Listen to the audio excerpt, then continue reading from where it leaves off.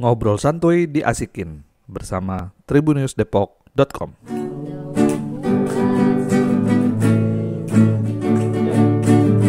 Selamat datang, selamat berjumpa dalam program Jemput Night Ngomong santuy, diasikin Hari ini bersama dengan mahasiswa UPN dan mahasiswa UI With you.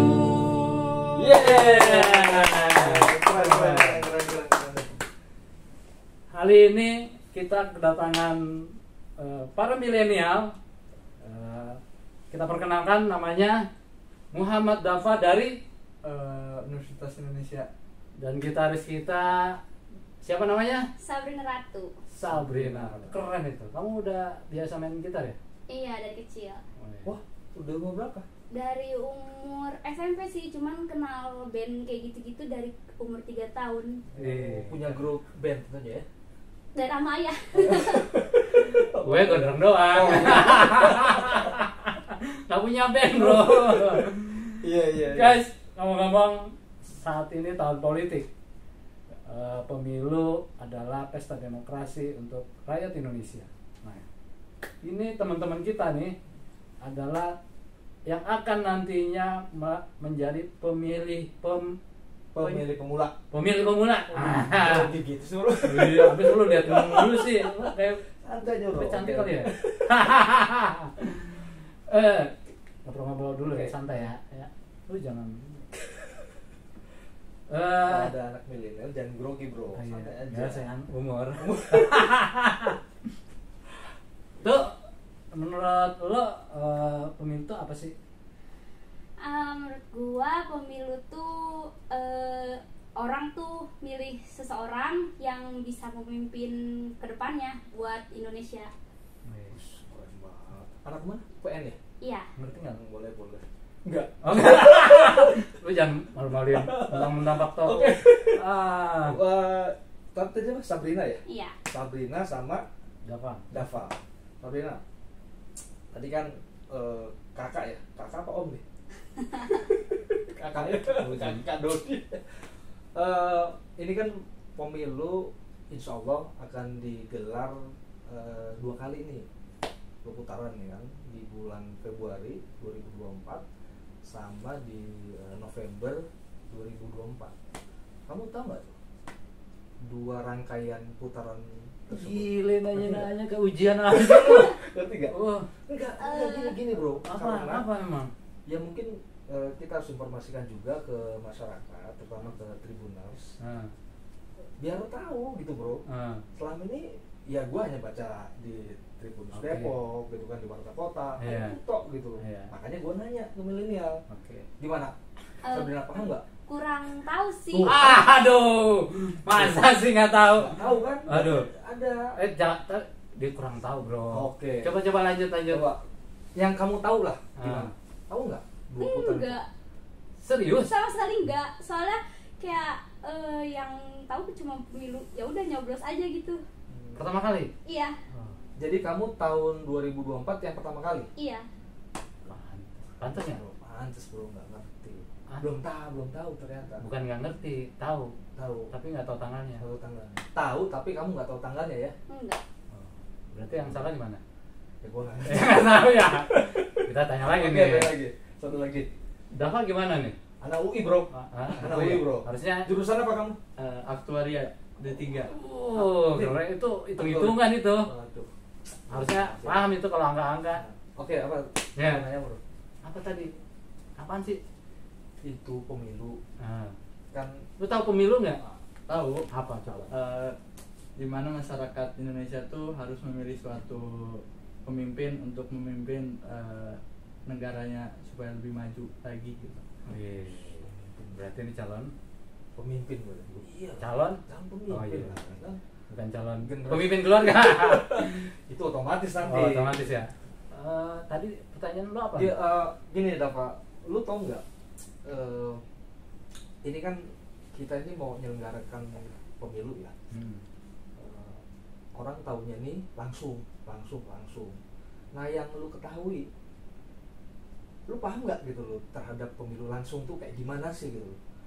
Perlu daftar, tinggal nyoblos, selesai. karena selama ini kan orang ya mungkin generasi lu ya Dava sama Sabrina tahunya pemilu apalagi yang pertama Eh, yang gue tahu itu kalau nyoblos bukan masih ada gelas tuh dimasukin air, tumpah tuh. Namanya apa tuh? Tahu nggak? Aduh. itu luber Iya, ada singkatannya kan. Lo. nah dulu tahunya kita luber bro Iya. nah, so, eh, coba Dava yang lu tahu deh tentang Oh, pemilu iya. 2024 ini Kalau luber tuh langsung umum bebas rahasia. besok tuh langsung gitu loh Nah, Hmm. langsung pengertian lu tuh apa coba langsung ya kita eh, diri kita sendiri gitu nggak dilibat nggak diwakilin sama orang lain jadi diri kita Langsung sendiri ya? langsung oke oke oke terus kalau calon-calonnya udah pada tahu ya sedikit sedikit tahu lah. Ya sedikit sedikit cuman nggak banyak sih. Nggak banyak, sedikit tahu. sedikit tapi nggak Nggak banyak. Banyak. Tapi sedikit. nah. Bingung ya? gue yang bingung. juga gue nah kan selama ini kan milenial tahunya ini apatis bro. Apatis Emang kan? benar sih apatis kalian? Terhadap Atau pemilu. politik gitu politik? Eh, kan politik kan sangat bohong. Ah. bullshit lah. politik bullshit lah. Eh, kalau bisa dibilang ya mungkin ada beberapa orang yang emang apatis gitu Nah. cuman kayaknya kalau gua termasuk yang nggak gitu deh Eh, apaan tuh gitu deh? gitu deh maksudnya dia eh, apa ikut ini ya nanti ya ikut Menyalurkan nyoblos hak kan. suaranya? Nah, iya menyalurkan hak suaranya bro nggak anti golput gua anti ya golput. anti golput keren bro Lu udah apa nih tadi tanggapan lu Tanggapan soal, lu. soal pemilu Heeh. ya bu- karena banyak ya semoga pemimpin yang selanjutnya tuh lebih gua lebih berwibawa lagi lah maunya berwibawa terus Kayaknya- saya lebih adil lagi bapak-bapak banget ya di bawah. Kayak kalau bawah cocoknya pemilihnya bapak-bapak nih. Atau anak muda anak muda.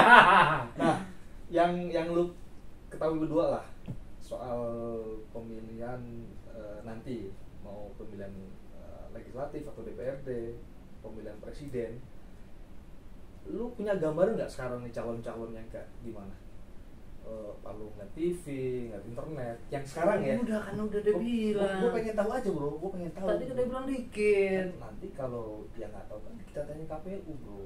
Oh. Nanti kita undang KPU untuk menjelasin itu. Oh gitu ya. Apalagi KPU besok mau dong. putaran. Oh. Kayak ini ya Coba. kayak sepak bola ya dua putaran Langsung tapi dua putaran. Jadi Ah. pemilihannya itu pemilihan legislatif dulu kan sama presiden, baru pilkada. Oke, Gitu. oke, oke. Bener nggak? Bener nggak sih bu? Ya, gue juga bingung. Tapi menurut lu lu pada ini kan yang penting sih gue tanya ini lu, lu exciting gak sih ntar milih? kalau untuk pertama kali ya eh, seneng ya, Seneng. seneng Ah. gitu ya. Pertama kali ya dari kecil pengen sih nyoblos gimana sih rasanya Oh, ya tapi setelah dilihat-lihat eh, nggak begitu exciting banget lah Kenapa? Apaan bro? Hah? Kenapa? Kenapa? Kenapa? Kenapa, Kenapa lu eh, nggak? Katanya nggak tadi pengen itu banget. gitu? ya karena ya udah bosan aja lihat pejabat-pejabat yang kayak gitu Oh. Hmm, Oke, berarti Gitu, itu bro. yang Kayak gitu bro. koruptor gitu. Ya udah ngomong Iya. koruptor gue bingung juga. Gua Gue bukan KPK ya kan, gue Hmm. juga bukan penyidik. yang Ya gue nggak ngerti lah soal koruptor itu lah. Ah. gue taunya uh, gue Makan. nyoblos udah selesai gitu. Oh. Nah itu seneng. Habis ya. nyoblos makan. Nyoblos Makan makan. rame-rame. Tuh menurut Gitu lu nggak? gimana tuh? Eh, gue sakit banget banget banget banget soalnya dari kecil kayak kalau ngelihat gitu ya. iya kalau ngeliat orang tua kan suka nyoblos gitu harus Hmm. ada jari kelingkingnya suka dicelupin sama tinta gitu kan suka dapet gratisan biasa di mall-mall gitu kalau habis nyoblos Emang gratisan apaan? tapi suka ada eh, promo-promo diskon kalau habis nyoblos tinggal tunjukin apa sih jari Wah, kelingking tahu gini gitu. gue nyoblos di mall dong. Promo ya? Ya, ya bener bro, artinya bagus Sabrina. Jadi dia sudah mulai melek juga dan paham bahwa tanpa mereka mencoblos Lu jangan ngomong-ngomong melek, dia udah melek. Yang nggak melek tuh gua. Lu jangan begitu dong.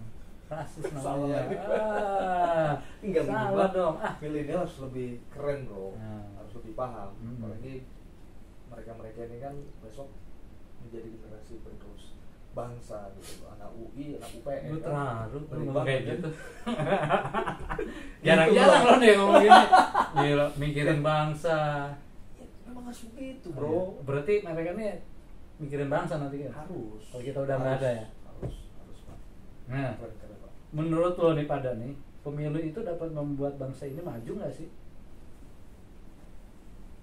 bisa tapi tergantung sama eh, pemimpinan yang akan jadi pemimpinnya. Jadi misalkan ada pemimpin yang mementingkan partainya atau yang mem- lebih mementingkan rakyat kan beda.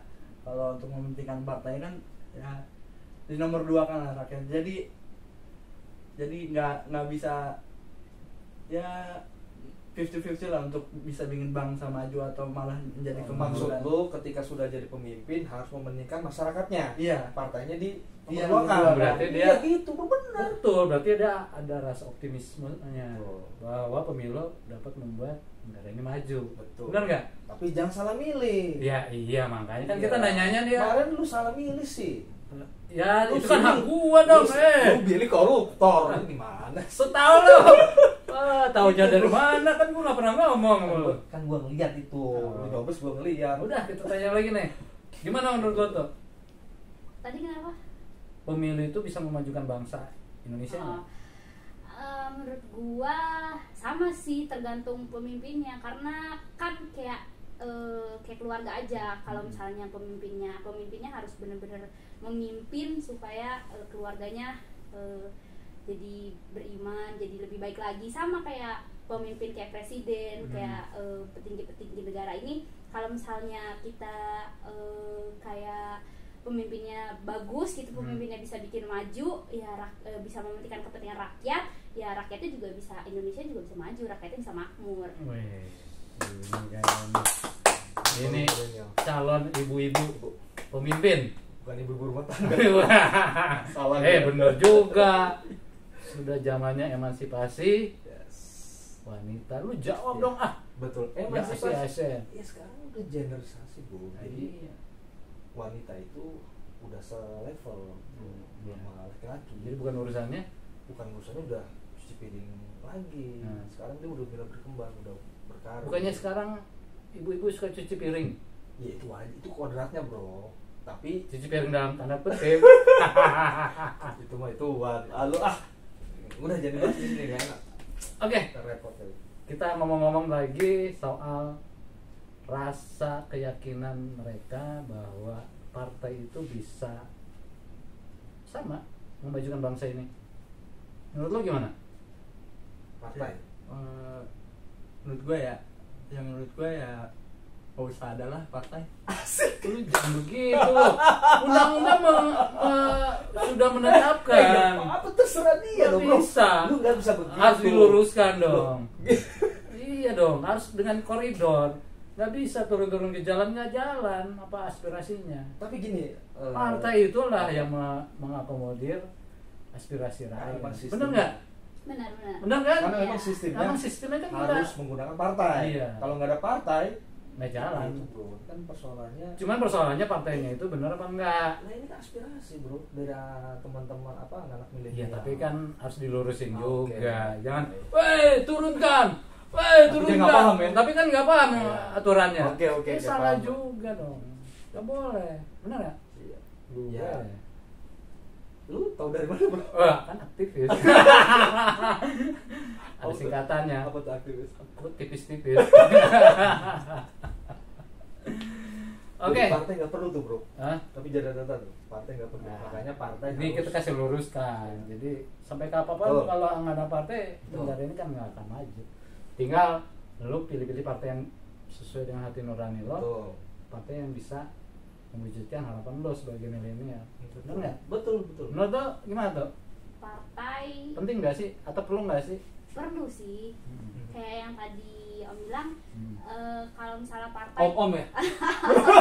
Oh, gua dipanggil om. panggil apa nih kakak kakak aja kalau menurut kalau menurut gua perlu eh, kayak yang tadi kakak bilang kayak kalau partai itu untuk menampung wadah aspirasinya Hmm. kayak contohnya di spanduk-spanduk. Nah, partai A eh, menolak ha- harga BBM naik kayak gitu. Itu Nah. kan suatu aspirasi suatu aspirasi di mana masyarakat masyarakat juga kan menolak BBM naik kayak gitu. Iya. Betul, cuman teman-teman mereka juga harus tahu nih mana yang ngumbar janji mana yang janji beneran. Kan ada diakomodir tuh da- dari apa namanya anggaran. Teman-teman juga harus bisa memahami proses pengajuan anggaran. Kalau janjinya gua mau bla bla bla tapi nggak diakomodir di anggaran hmm, bullshit. Ya nggak? betul betul. Jadi memang harus pintar-pintar memilih jangan terbuai oleh janji. Bijaksana Hei, gue. Oke oke. Tadi eh, Kak Dodi Pak Om Dodi? Kado di kakak Dodi ya. Lu. Kan tadi Kak Dodi udah udah ngejelasin ke lu berdua lah terkait soal sistem uh, pemilu, kenapa harus pengurangan partai dan sebagainya. Yang gue mau tanya gini nih, simpel aja. Eh apa? Ini kan ini kan kita nih setiap pilpres, setiap pilkada ya bro, itu selalu ada yang namanya apa sih bahasa kerennya ini polarisasi. Hmm. Aduh, gua nggak ngerti. Pol- Udah pusing. Apa Ada ya? juga, juga tahu gua kolorisasi. polarisasi jadi eh, ini kan Udah selalu tinggi banget sih. apa enggak bahkan gue lagi Ya, namanya polarisasi, nggak polarisasi. Yang tahu gua kolorisasi. justru karena milenial bro Ah. jadi polarisasi itu ah, disparitas perbedaan antara Aduh, disparitas lagi. perbedaan Nah. kayak kerennya perbedaan jadi eh, ini antara golongan si A si B ini suku A suku B itu pasti tuh terjadi gitu bro nah yang gue pengen tahu nih dari pemikiran mereka nih apa sih gitu loh yang yang terbenak di benak lo ketika lu nyoblos? Ah gue sih hati gue lah sesudah hati gue nggak nggak mau terprovokasi sama si A si B. Oh ini kan ini orangnya gini agamanya ini begini nah itu penting bro. Biar mereka tidak tidak terjadi gesekan. Nah kalau menurut lu gimana Sabrina? Gua. Pusing juga sih sama Pusing. Gua Gua sih juga ngerti pusing nggak? pertanyaan lo. ngerti nggak gue juga nggak ngerti Pusing terlalu tinggi ya bro terlalu tinggi. Nggak nyampe gua. oke Ah. Gini intinya Hmm. pemilu ke depan itu biasanya itu kan ya ngomong suku ah dia mah sukunya eh, A. A Hmm. sukunya B ah gue males ah Emang ada? gue mau nyoblosnya yang suku ini Ah. Nah, no dia bicara agama agamanya ini ah enggak ah gue maunya yang ini biar nanti begini Hmm. Itu kan lu pada kan sering baca tuh. Nah itu maksud gue itu. Lebih kepada itu. Nah lu menyikapinya itu kayak gimana lu memilih berdasarkan hati nurani lu berdua atau lu memilih karena memang ada Masih masih masih. nah gitu loh menurut gue lah gue minta komentar lu lah dari Sabrina dulu deh. Kalau bisikannya benar Eh, enak. Kayak hati nurani hati nurani aja sih soalnya itu kayak- bukan partai bro Oh iya. Oh iya. hati Hati hati hati Nur Iya. Oktaviani. Oh salah ya. Ah. Eh, gimana terus Iya, soalnya kayak lihat dari pola kerja dulu kan sebelum dia menjadi presiden, sebelum dia menjadi tapi lu yakin bisa ngeliat pola kerja si calon itu dari berita-berita kan bagus biasanya ada yang biasanya kerjanya kayak wah Oke. menurutnya nggak bagus nih cuman ya dipilah-pilih lagi cuma menurut hati nurani aja sih oh, dia baca dari track record ya Hmm. protokol ya oke keren Berarti itu media tuh fungsinya. Tuh. Eh, Jangan jangan liatin medsos mulu. Iya. Jangan percaya medsos mulu loh. Berita. yang baca. Tribun News Depok Ah, Nah, iya. Kota kan Iya itu benar. penting oke tadi Sabrina sekarang lu Dava Eh, Jangan kalah, Dava. tentang polarisasi ya tuh kan. Dia lebih jago bro. Nah, tentang Gue polarisasi pusing. Gua.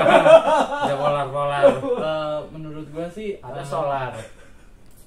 kita memilih eh, dengan hati nurani kita sendiri eh, Iya. seperti asas pemilu lu berjurdil jujur dan adil gitu. Jadi tidak ada intervensi intervensi dari luar atau dari partai ya. Dari hati nurani kita aja lah. Yakin lu yakin? Yakin gitu. Yakin? Nggak dapat intervensi dari orang tua atau siapa? Enggak enggak oke bro. Berarti jalan dong. Apanya jalan? Ya pribadi dia jalan gitu. Nggak Berarti orang tua berarti gini.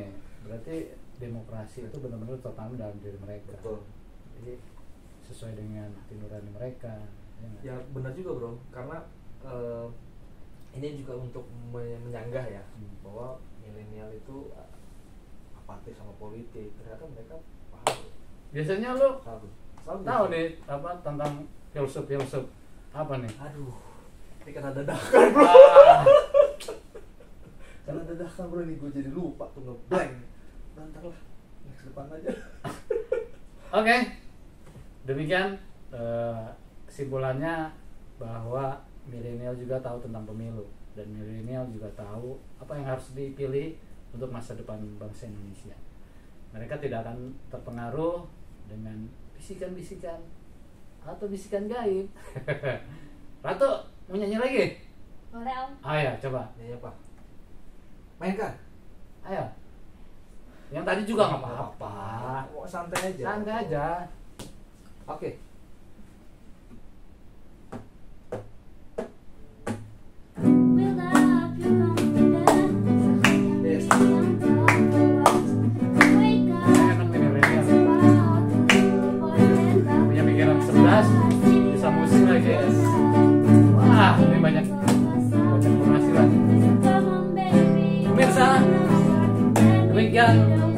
kami dengan milenial tentang demokrasi, tentang pemilu. Ini menjadi masukan buat kita semua bahwa optimisme masih ada di, di pundak mereka untuk membangun, membangun dan memajukan negeri ini. Kembali lagi nanti berjumpa bersama kami dalam program The Moon Night Show. Yes. santuy diasikin. yes Yeah.